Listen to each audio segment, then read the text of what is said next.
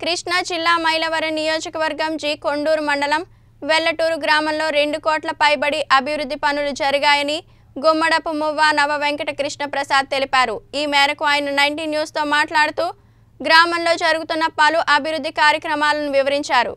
YS Jaganmohan Reddy గారి యొక్క అభివృద్ధి పథకాల్లో భాగంగా కృష్ణా జిల్లా మైలవరం నియోజకవర్గం శాసనసభ్యులు వసంత వెంకట కృష్ణప్రసాద్ గారి కృషితో జీకొండూరు మండలం వెల్లటూరు గ్రామ పంచాయతీకి సుమారుగా రెండు కోట్లు పైబడి నిధులు మంజూరు చేయడం జరిగింది.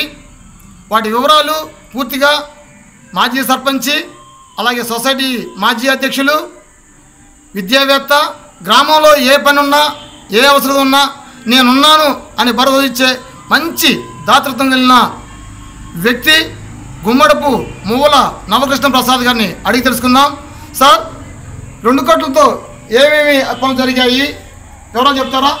కేపీ గారి ఆధ్వర్యంలో రెండు కోట్ల రూపాయల అభివృద్ధి కార్యక్రమాలకి శ్రీకారం చుట్టారు. రెండు సెక్రటేరియట్లు రెండు నలభై ఎనభై లక్షలు పెట్టి తర్వాత రైతు భరోసా కేంద్రాలు రెండు రెండు ఇరవై నలభై లక్షలు ఆ, వెచ్చించి నిర్మించారు. తర్వాత వెల్నెస్ సెంటర్స్ రెండు రెండు ఇరవై నలభై లక్షలు పెట్టి నిర్మించారు.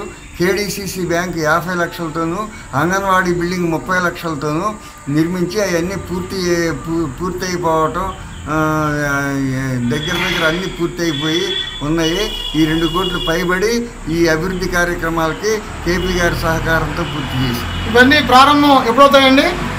కొన్ని ప్రారంభమైనవి ఒక కేడీసీసీ బ్యాంక్ ప్రారంభమైంది ఆ తర్వాత సెక్రటేరియట్ ఒకటి ప్రారంభమైంది మిగతా అన్నీ కూడా మూడు వంతులు అయ్యి ఉన్నాయి అంతా కన్స్ట్రక్షన్లో ఉంది అంగన్వాడీ బిల్డింగ్ కూడా ఓపెన్ అయిపోయింది.